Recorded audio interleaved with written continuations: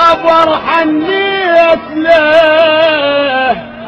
وروح قلوا لو عن اشتاقيت له. اليوم وصلوا للخبر حنيت له.